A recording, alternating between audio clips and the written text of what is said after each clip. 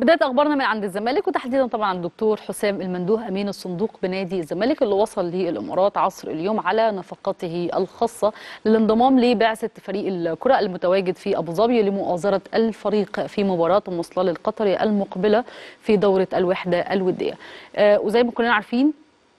الزمالك بيستعد لمواجهة المصلال القطري بكرة الاربع على استاد النهيان في مباراة تحديد المركز الثالث للبطولة الوحدة الودية ويسعى طبعا لاستغلال المباريات الودية لتجهيز جميع اللاعبين خلال فترة التوقف الدولي الحالية في ظل مشاركة الزمالك أكثر في أكثر من بطولة محليا وافريقيا. زي ما قلنا قبل كده إن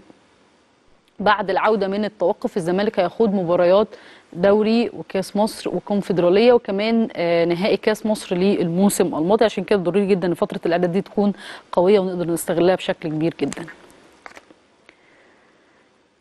لسه مع أخبار الزمالك وفريقنا النهارده خاض تدريبه على ملعب الشهامة بأبو ظبي وحرص الكابتن معتمد جمال المدير الفني على عقد الجلسة مع اللاعبين قبل مران اليوم استعدادا للقاء ام مصلال القطري في دورة الوحدة الودية.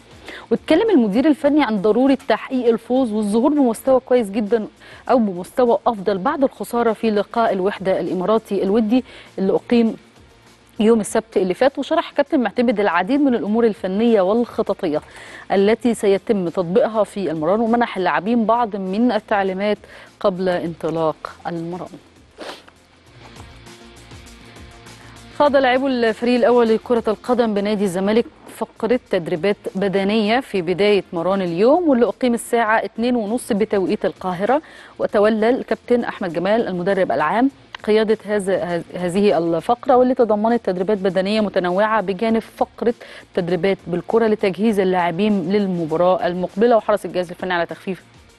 الحمل البدني للاعبين قبل مواجهة الفريق القطري حتى لا يتعرضوا اللاعبين للإجهاد قبل لقاء مصلال